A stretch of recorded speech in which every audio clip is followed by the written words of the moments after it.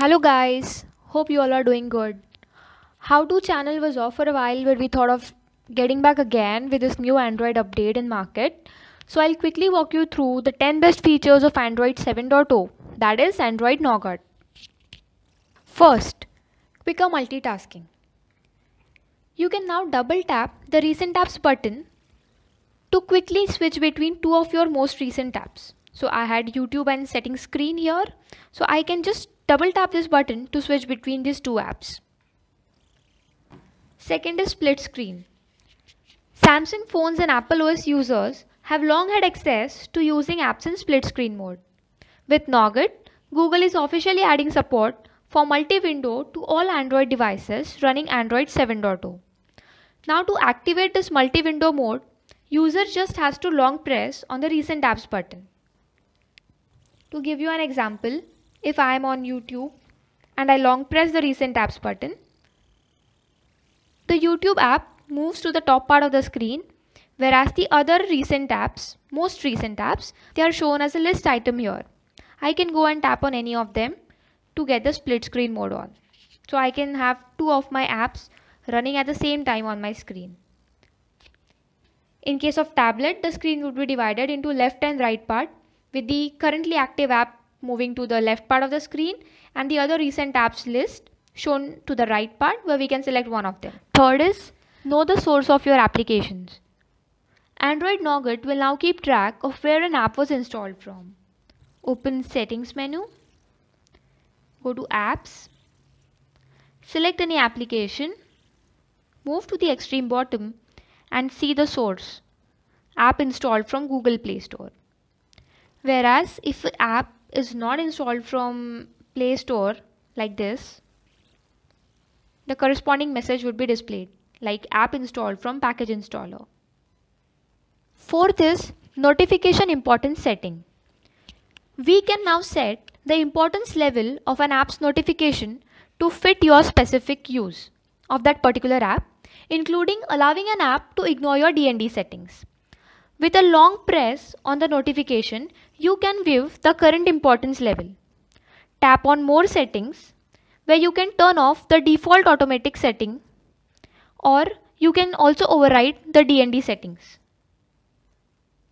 to adjust the interruption levels. Fifth is data saver. Are you guys tired of paying for data overages? Here's the solution. When using Android Nougat device, you can enable data saver to restrict specific apps from using data in the background. Tap on settings, go to data usage and then tap on data saver. Under the data usage menu, you can go through a list of apps which are already installed on your device and you can then enable background data usage for each one you want. Otherwise, apps will only gain access to your cellular data when you are actively using it. Sixth is quicker quick settings menu.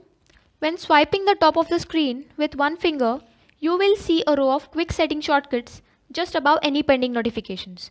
Tap on an icon to enable disable features such as the Wi-Fi, data connection, DND mode, battery percentage, the auto rotation of the screen. This basically displays first 5 items from your quick settings. So if you reorder your quick settings, the change will appear here. Seventh is easier settings app navigation. When navigating through the settings app, user can quickly hop through various sections using the hamburger menu which is given at the top of the screen or you can just pull it from the left edge.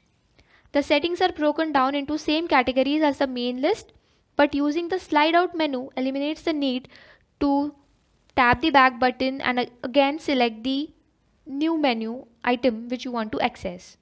8th is clear all button. So guys Google added this clear all button to the recent app list only it's a bit hidden Instead of placing it at the bottom of your screen when viewing your recent apps, you need to scroll up and to the top right corner you see this clear all text. Just tap on it and all your apps will be closed out. Ninth one is about call blocking. Google has now added a call blocking feature directly to the call log screen. You can long press on the call item and you get the option to block a number from here. 10th one is about the lock screen wallpaper. Samsung users are already aware of this feature as it was long available in its device. By this we can keep our active screen and lock screen wallpapers differently. Now I am going to select my wallpaper. I select any image. I click on set wallpaper. I get a prompt to select the wallpaper for my home screen or for the lock screen or I can keep the same wallpaper for both my home and lock screen the way it used to work in the previous Android version.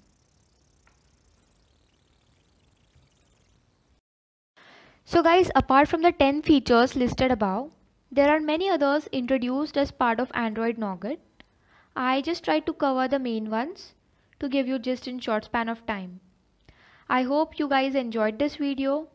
Don't forget to ask questions in comment section below and do like, share and subscribe to our channel.